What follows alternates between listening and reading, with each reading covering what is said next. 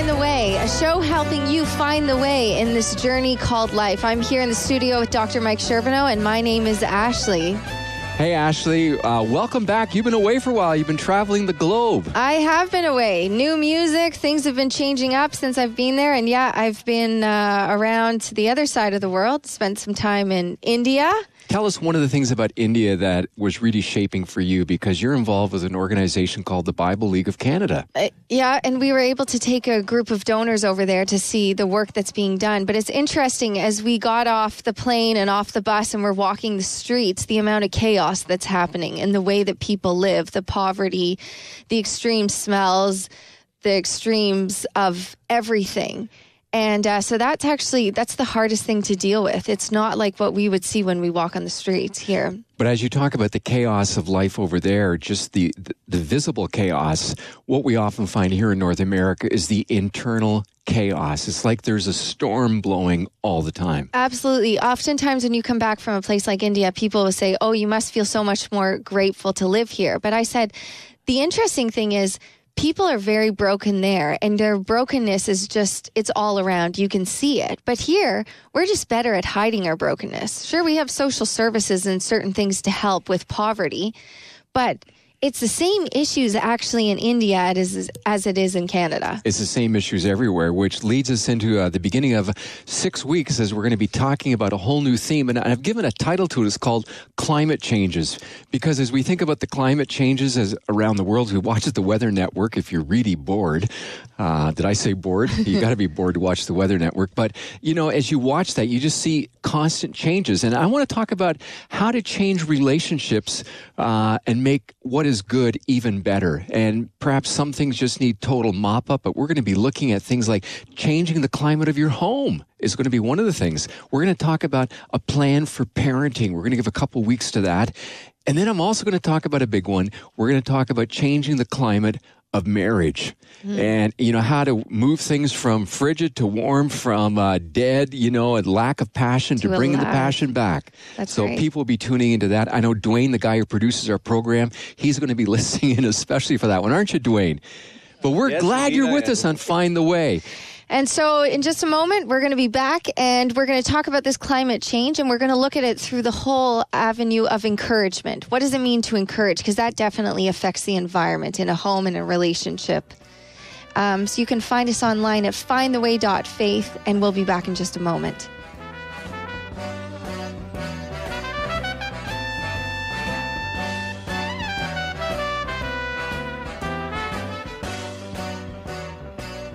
Well, we're glad that you're joining us on Find the Way. Online, find us at findtheway.faith. And we're here from coast to coast, from Vancouver all the way to the Maritimes.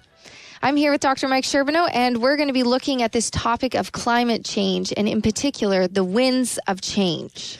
Thanks, Ashley. And as we begin uh, this series of talks, uh, all of us are want to see our relationships go the distance. We want to see things that are healthy and well.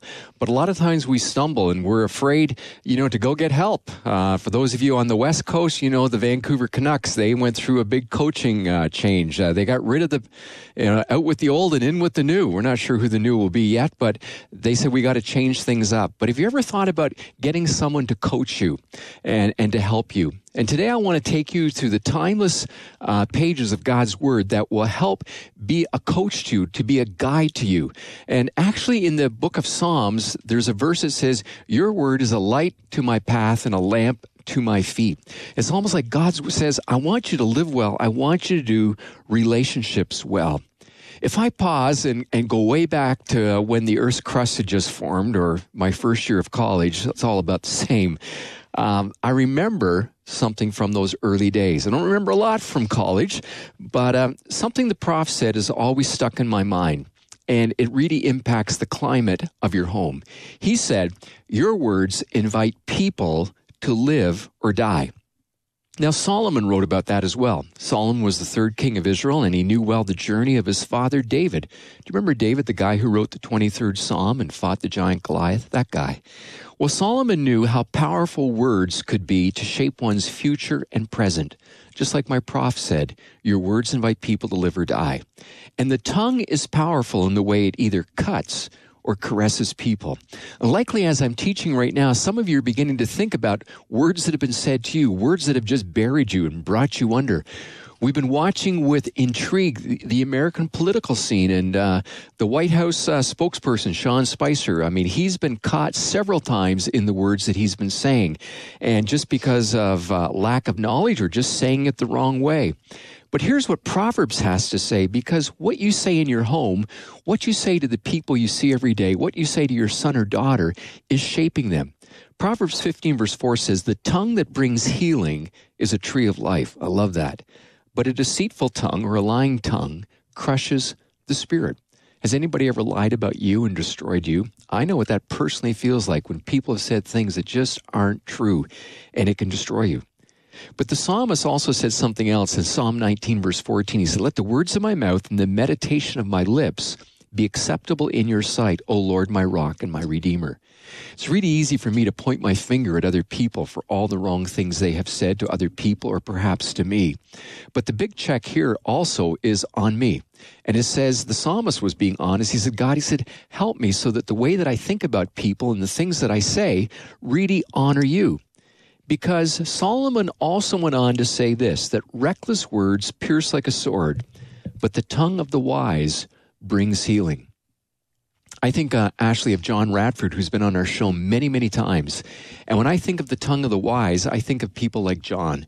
Many times he's been used to negotiate conflicted parties, to bring them together, whether it's been uh, um, government and um, First Nations, whether it's been business people who have been at odds with each other, and he's even worked within church and religious circles, bringing people together. Solomon knew it well. He said, Reckless words pierce like a sword but the tongue of the wise brings healing.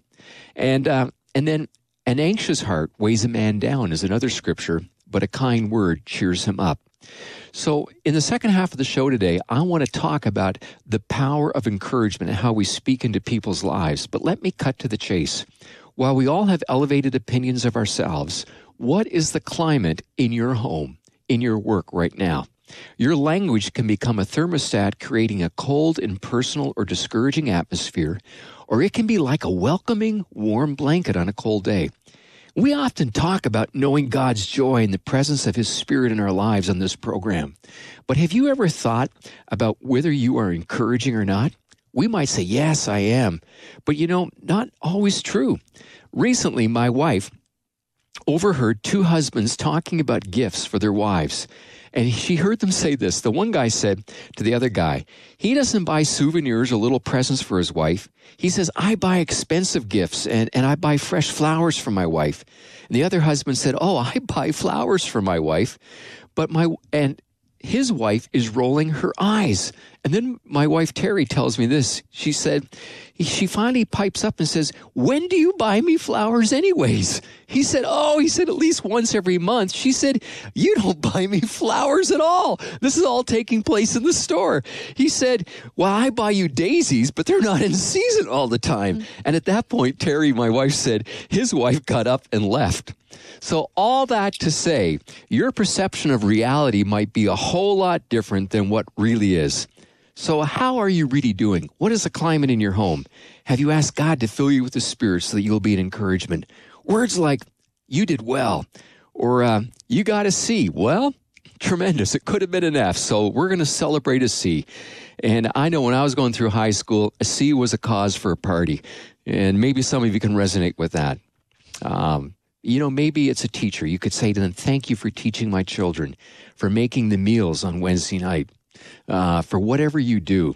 I had a moment recently when I was at the doctor's office and I was talking to him, and it was a doctor, uh, Jim Park, who's taken great care of our family for years and years. And I realized I hadn't thanked them, and I just paused and said, I want you to know how much I really appreciate the care you have given to our family. And, uh, and those words are important. I know how much they mean to me. We're going to come back in a moment and talk about changing the climate of your home through words of encouragement. And Ashley's going to come back and do some teaching with me on that whole subject. We'll be right back in just a moment.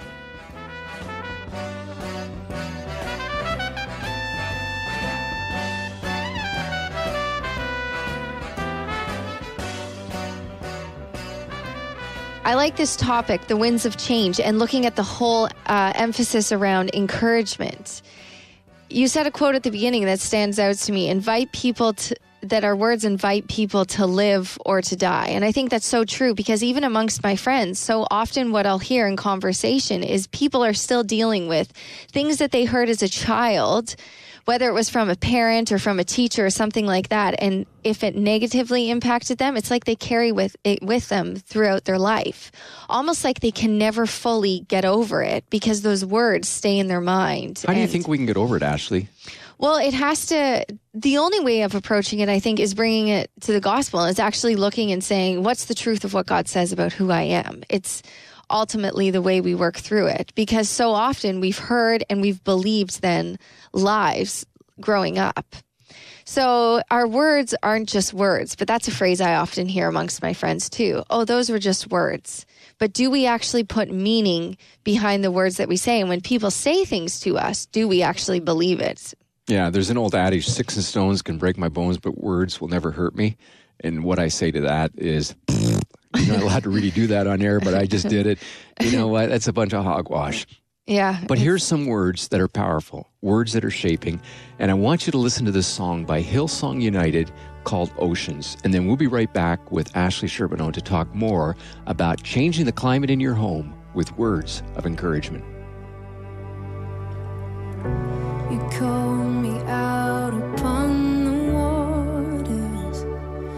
Great unknown, where feet may fail. And there I find you in the mystery, in oceans deep.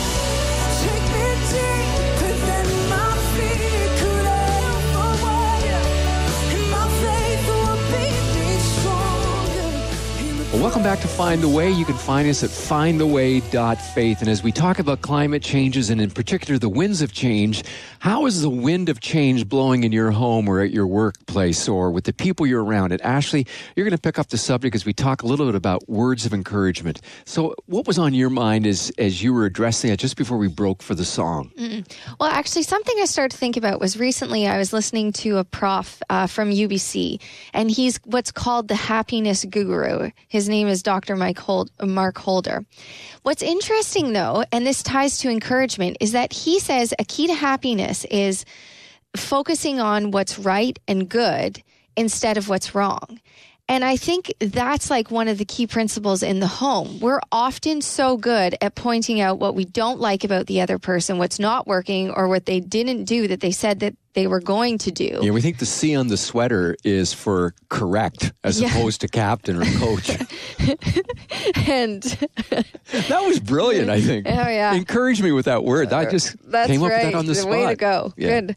Um, but instead, so we can see so much what's broken, what's not working, instead of what's actually right. And that's where encouragement starts. Encouragement stems from seeing, you know, this is this is wonderful about you. This is something that's working. I see these abilities inside of you. And even if something's just starting to emerge, it's helping to draw that out of a person. So, how do you change the negative habits? Because probably everybody listening to some degree, if they were honest, would say, I'm guilty. I'm guilty of always picking up on the negative thing. Do this or do that. And, uh, you know, it was like some of my teachers, I thought they got perverse pleasure out of marking X on my papers.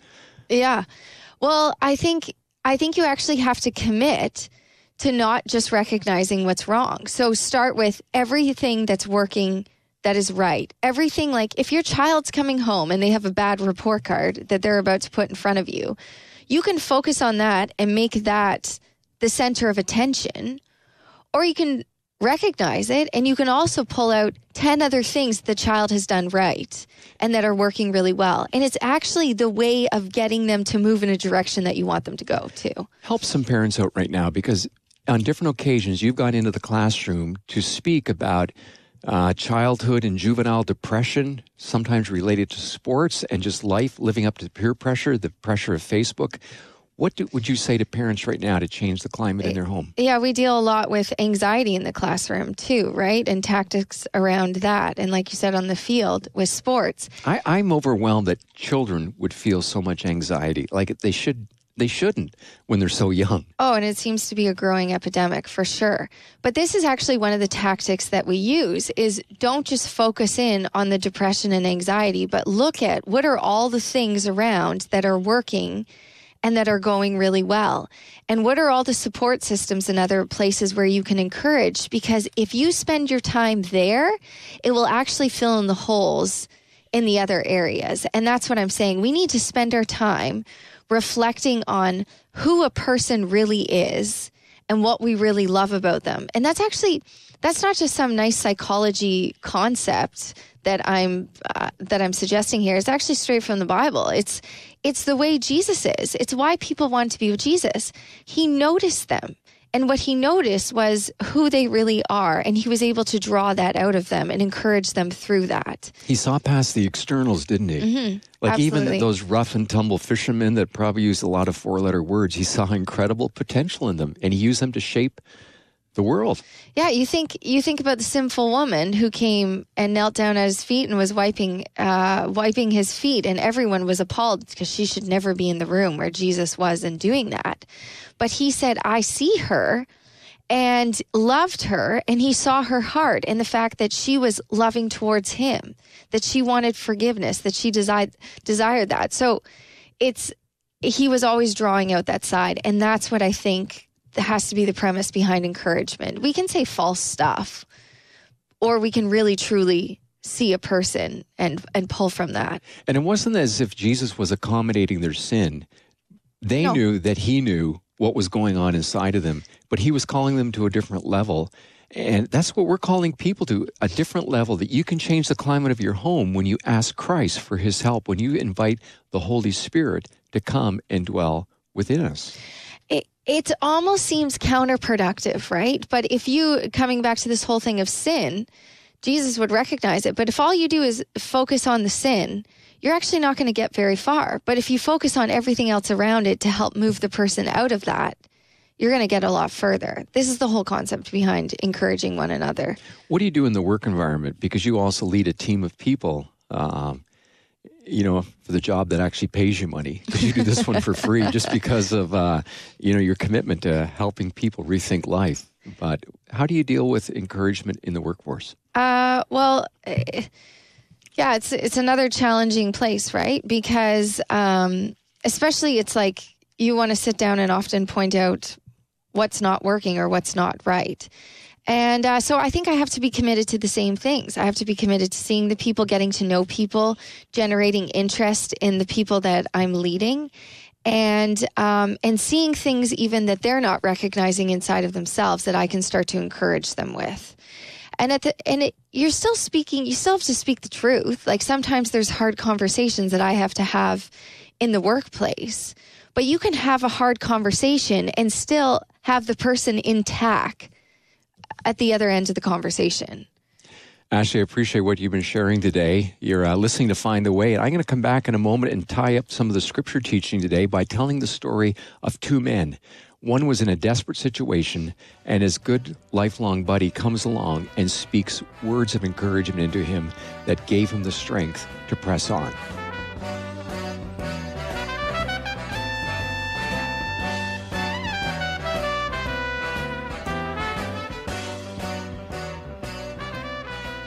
Well, welcome back to Find the Way. And as you've been listening to our show, you probably noticed that we changed up the little tune, the little jingle that's in between the, the segments of our show. And uh, that's because I wanted to encourage my wife, Terry. She loves the band Chicago. That's kind of dating her a little bit. So if you've been listening to that and wondering, yes, that is Chicago. And uh, I just love uh, the sound of the brass. And I figure if I can encourage her, I'm going a long ways toward climate change in my own home. But you know, all of us need encouragement. And as I think back on my life, uh, there was a couple individuals who really spoke into my life. The first man has, has been dead now for about seven or eight years, but his name was Bob Wright. And in the first church that I pastored in downtown Toronto, I would call him on the phone. He was a big executive for Shell Oil, and his secretary would put me through to him. And his opening lines, you ready for this? He would always answer this way every time. He would say, Michael, my hero, how are you today? Now, initially, I thought the guy was nuts. I actually thought he was crazy. But there would be times uh, when I got discouraged, and I would call this high profile executive just to hear him say, Michael, my hero, how are you today? And what that guy knew and understood was the power of a word of encouragement. And, you know, when nobody was giving me any encouragement, I knew where I could call just to hear that line. Well, I'll flip it ahead. And I, I, remember another experience when I was actually asked to go and speak to the Toronto Blue Jays. And it was uh, a chapel service. They were playing the Minnesota Twins. Folks, let me tell you, it was really hard for me to pray for the Minnesota Twins. I'm Canadian through and through. I wanted the Jays to win, but I did the chapel service for the Twins. I'm in there with the, uh, the Blue Jays, and these are some of just the outstanding MVP players. And when the service was over and they're running out of the room, all those guys would high five me. But here's the strangest thing. It's what puts makes a team a winning team. And actually, we were talking about what do you say in the work environment? I heard those ball players say to each other words like, man, we're going to get it today. We're going to win. I, I heard them actually say, I love you, brother and I'm encouraging you. And I'm thinking, whoa, these are professional baseball players saying powerful words of encouragement. And then I watched them do what only ball players do. And I thought this would all be great in the local church or any place of work, except now you'd get sued for it. They all slapped each other on the butt as they're walking out the door. Let's go get them. And maybe that's where we have to draw the line. But it was a powerful moment. You see, here's the principle encouragers help you to hang on instead of letting go. You never have to look far to see someone who needs encouragement. And in the passage before us today, David is running for his life from a man named King Saul. And of all people, it's Saul's son who comes to see David. And his name is Jonathan. Jonathan wanted to encourage David. And we read in 1 Samuel chapter 23, and Jonathan, Saul's son, rose and went to David at a place called Horesh. And it says he encouraged him in the Lord. And translated, the word encouragement means he strengthened his hand in God. And he said, Don't be afraid. For the hand of Saul my father shall not find you. You will be king over Israel, and I'll be next to you. Well, you don't have to look far, as I said, to find someone who needs encouragement. David is at a place of desperation. He's so low, he could have been you know, he could have played handball against the curb, as the uh, the cliche goes. Matter of fact, in the chapter before, it says that everyone who was in distress and debt and discontent gathered around David. I mean, not the most positive people in the world. Um, and David's trying to hold together a pack of renegade, renegades, and they would hide in caves. And this particular time, they were hiding in the cave of Adullam. Trust me, folks, it was no Holiday Inn.